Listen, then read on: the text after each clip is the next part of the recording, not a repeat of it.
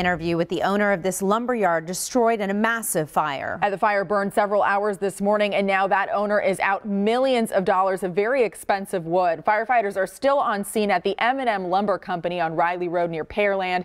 He spoke only to our Anusha Rasta about the impact this fire is having on his business. Anusha.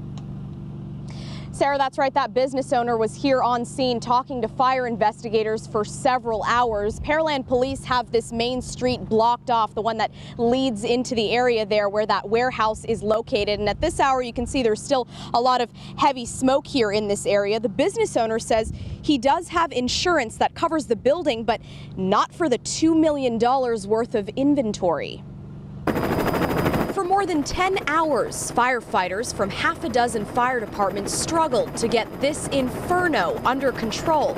It used to be a lumber warehouse before it went up in flames the night before. It was a lot of wood. There was always the chance of a, a fire. We had fire extinguishers and everything, but at midnight, I don't, I don't know what happened. This man named Randy Blanchard tells us he owns the business. It's called M&M Lumber Company, and Randy says it's a 20,000 square foot warehouse with an expensive inventory of antique and reclaimed wood. A couple million dollars worth of inventory was lost, probably.